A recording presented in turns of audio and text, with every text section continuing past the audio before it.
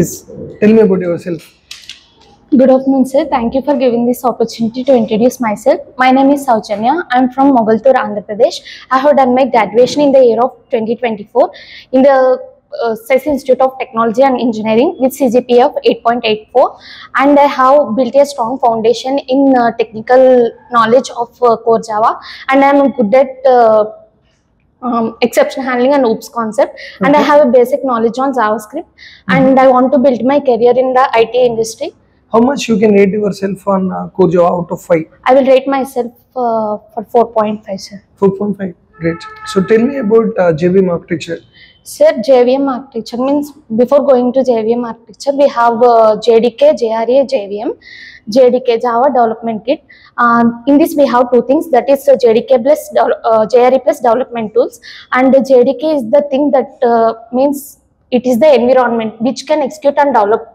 And uh, coming to JRE, JRE means uh, it is uh, JRE means Java Runtime envir- Environment. This is for those who want to run the Java programs. In JRE, we have JVM plus library classes. And coming to JVM, JVM means Java Virtual Machine. It is the most important for uh, JDK and JRE.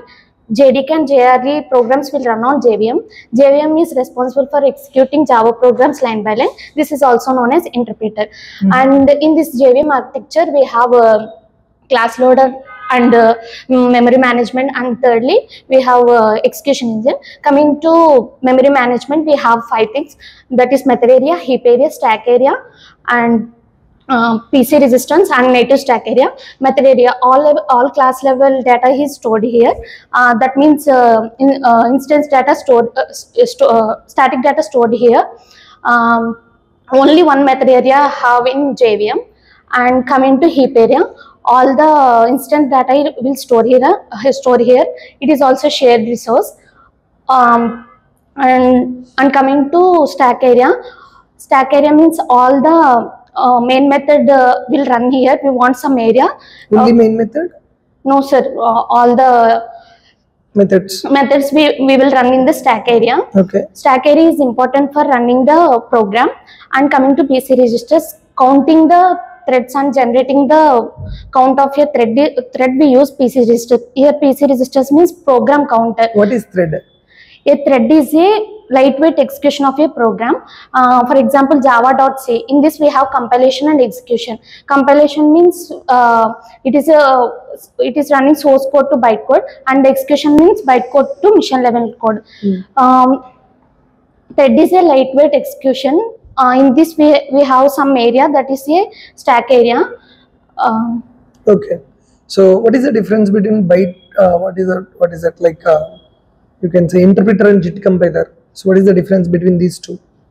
interpreter means it is a line by line execution and JIT compiler means uh, for fast execution we go for a JIT compiler. Okay. Okay. What is garbage collector?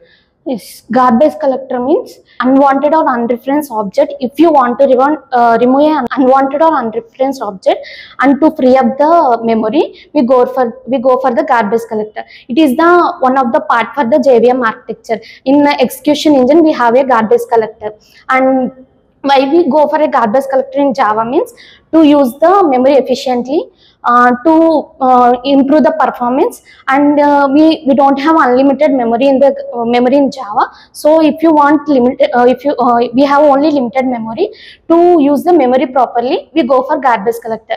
Um, garbage collector means it is a automatic garbage collector. Um, we can go for manually or uh, automatic garbage collector is available So how can you uh, approach that? we can approach this garbage collector using system.gc system.gc calls runtime.get runtime uh, get runtime of uh, both both are same things. Uh, system.gc override finalize method. Finalize method depends upon the deletions of the methods. If you delete if you want to remove two unreferenced object two times finalize method will uh, will run. Very good. What are the OOPS concepts which you worked it? Sir, uh, OOPS concept means uh, at first OOPS means object oriented programming structure. The way of writing the code in a proper way, uh, we go for OOPS concept. Encaps in this we have four pillars: encapsulation, abstraction, inheritance, polymorphism. Here encapsulation means encapsulation achieves through class and methods. Um, class is a blueprint of an object. object is an instance of a class class allows static memory objects allow dynamic memory um, class is a plan or action or a design or a architecture. Um, and uh, coming to what is an encapsulation encapsulation means it is a binding or wrapping or bundling of the data with related related, related functionalities into a single unit. This is known as encapsulation. Uh, encapsulation will be done through two. One is data hiding and another is uh, abstraction. Data hiding means hiding the data. Abstraction means hiding the implementation. We can How can you achieve abstraction? we can achieve the abstraction using interface and abstract What is the difference between interface and abstract? interface means in this interface we can use only public and abstract method uh, methods. Um, uh, in abstract classes we no need to use public and abstract. And uh, we, we we no need to declare constructors in interface. We want to uh, declare the constructors in uh, abstract. And uh, um, we have static and final variables in interface. Uh, in abstract classes no need of using final and static variables. And uh, interface is a completely executed. Uh, it is a partial execution. So what is functional interface and marker interface? functional inter- interface means is a it is a single abstract method. In functional interface the lambda functions are over, overrated for functional interfaces. Functional interfaces is a single abstract method. We use uh, default methods and static methods in functional interface. Whereas in marker interface no methods are uh, no, no methods are uh, needed. Can you tell some examples of functional interface?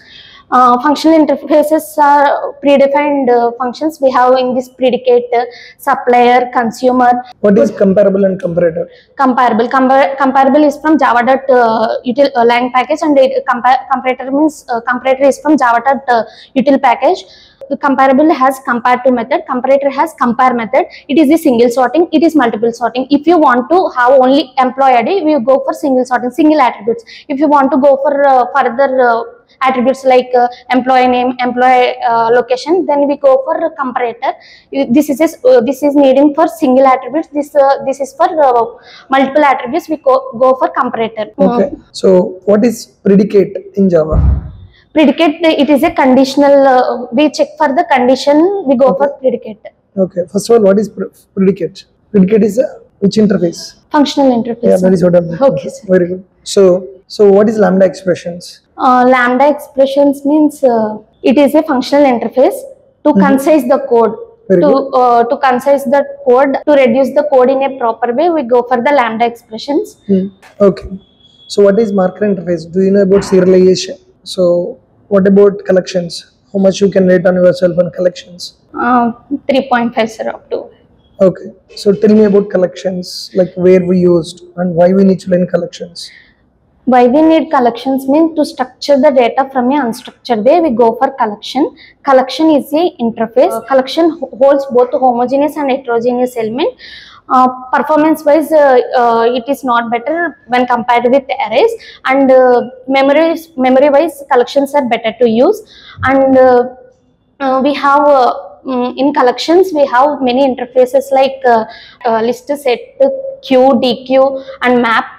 Map is a in, uh, interface but not a child interface of uh, What is the difference between uh, HashSet and linked HashSet?